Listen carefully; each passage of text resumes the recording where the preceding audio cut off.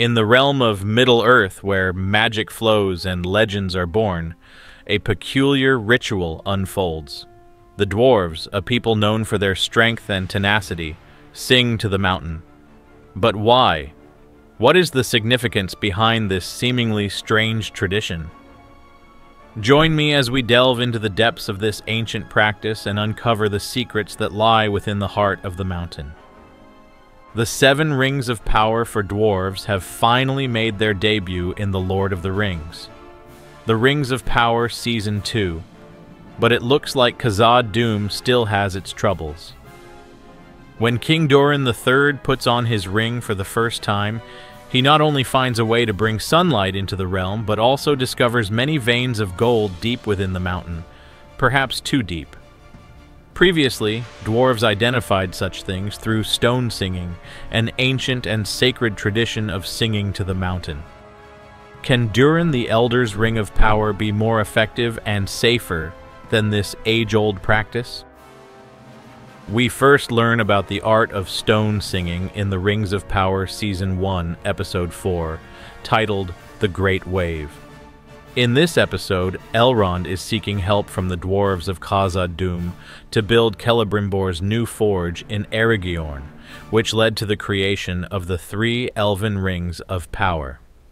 As a diplomat, Elrond visits the Dwarven realm under the Misty Mountains to talk with his friend Prince Durin IV. However, he is taken aback by Durin's demeanor. The two have been estranged for 20 years, and because Elrond is an elf, he perceives time differently and has missed many significant moments in Durin's life, including Durin's wedding to Disa. Disa, a caring and thoughtful wife, invites Elrond to witness one of her stone-singing rituals, showcasing the strong bond between the dwarves and the mountain. She explains that this involves literally singing to the mountain, a practice known as resonating. Through this method, the dwarves can sense what lies beneath them, helping them find ore to mine and determine the best tunnel routes. Disa describes it as a process of mutual respect, as it also helps them identify areas of the mountain that should remain untouched. For instance, mining a newly discovered ore like mithril is seen as risky, which is why it takes the dwarves a long time to produce even small amounts. Interestingly, stone singing is an original idea introduced in The Rings of Power.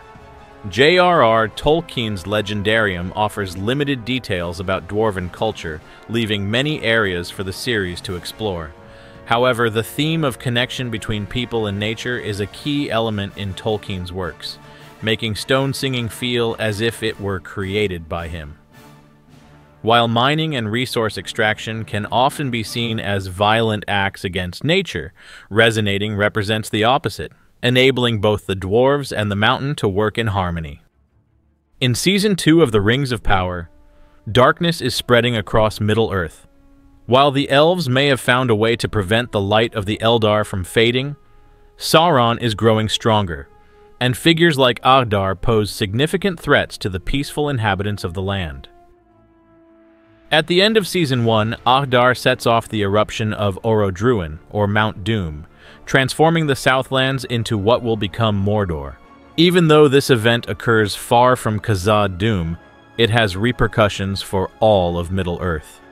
In Episode 2, Where the Stars Are Strange, Narvi explains that the eruption of Mount Doom, which he refers to as a fire mountain, sent shockwaves through the land and caused the sun shafts of Khazad Dûm to collapse, leaving the great dwarven realm shrouded in darkness. Disa and the Stone Singers suggest that the best way to address this problem is to sing to the mountain again, hoping to reopen the sun shafts through the vibrations they create. King Durin the Elder permits them to give it a try, but unfortunately, their efforts fail. Instead of reopening the shafts or guiding the dwarves to dig new ones, the mountain collapses the small openings that still allow some light to enter. Disa strains her voice more than usual, but she still can't reach the mountain. In a heartfelt moment, Durin the Elder praises the Stone Singers, who have tirelessly supported Khazad Dûm for nine centuries.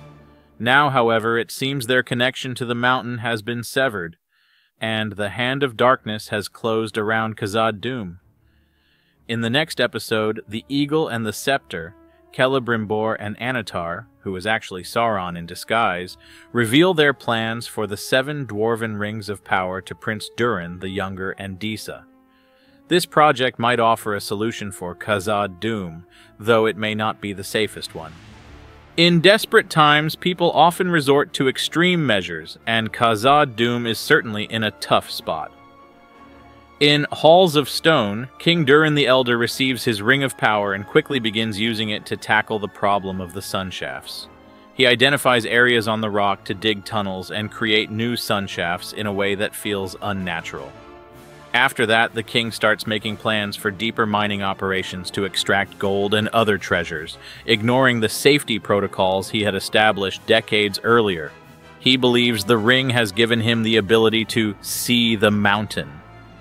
The problem is that while stone singing offers a safe way to dig in harmony with the mountain, the power of the ring does not.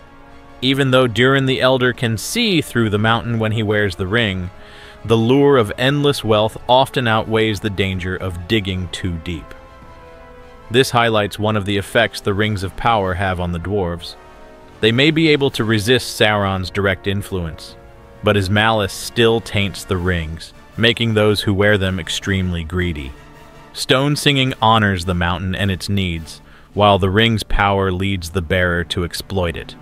In Halls of Stone, Disa purchases a tuning crystal, a round gem that helps singers adjust their voices to its vibration.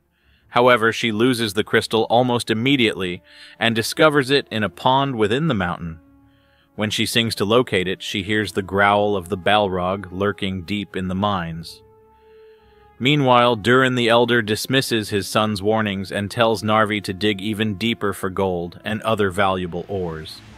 Thus, the ring not only offers an unnatural way to explore the mountain, but also risks awakening an ancient evil, the Balrog. The Balrog featured in the Fellowship of the Ring dates back to the First Age and fled to the Misty Mountains, where it remained dormant until awakened by the dwarves in the Third Age. It killed King Durin the Sixth and his heir, leading the dwarves to abandon Khazad Dûm. Even Thorin Oakenshield's father, Thrain II, was warned against trying to reclaim the great city, now known as Moria or Black Chasm, due to concerns about the Balrog. When the Fellowship entered the mines of Moria, the creature known as Durin's Bane awoke and confronted them, brandishing a flaming sword and a whip. Ultimately, Gandalf defeated Durin's Bane. After Durin's Bane was defeated, it's unclear where the other Balrogs might have been hiding, or if any were left at all. Since Sauron didn't seem to recruit any to help him regain the One Ring, they were absent from the events of The Lord of the Rings. Furthermore, none appeared in the final battle in Mordor, which lends weight to the theory that Durin's Bane was indeed the last of its kind. Thank you for watching, do subscribe, and check out other videos on this channel.